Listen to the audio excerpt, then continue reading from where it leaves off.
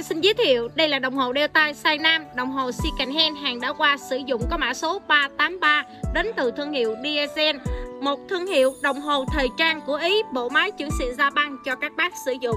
Đồng hồ này full box. Sản phẩm gồm có ờ, một cái đồng hồ, gói đựng đồng hồ, sách, hộp và bây giờ em sẽ ờ, quay cận cảnh chi tiết mẫu đồng hồ này cho các bác tham khảo. Thiết kế của mẫu đồng hồ này rất là đẹp, chuẩn men và lịch lãm. Size của đồng hồ là 37 x 47.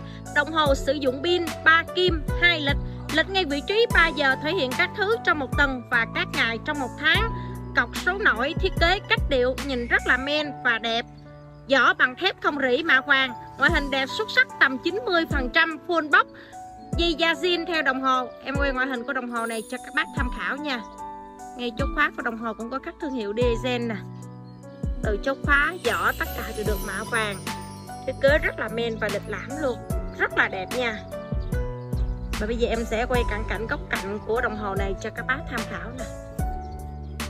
Nhận được đồng hồ này, các bác sơn ý ngay. Không có cái điểm gì để chơi cái mẫu đồng hồ này cả.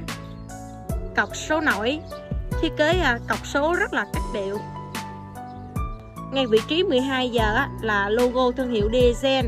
Ngay vị trí 6 giờ cũng là thương hiệu Diesel khắc nổi phía ngoài. Giá bán của đồng hồ này là 1 triệu 600 ngàn. Các bác vui lòng chuyển khoản đủ giúp em, Sau đó cho em xin địa chỉ. Em bao luôn phí ship tận nơi Khi các bác nhận hàng, không cần thanh toán để bất kỳ chi phí gì nữa.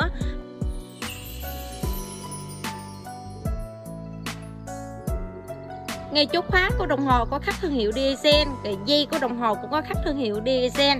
Và đây là mặt đáy của đồng hồ đầy đủ thông tin và số series của đồng hồ bộ máy chuẩn xịn da băng đến từ thương hiệu diesel, một thương hiệu thời trang của Ý để các bác đeo và theo dõi giờ hàng ngày.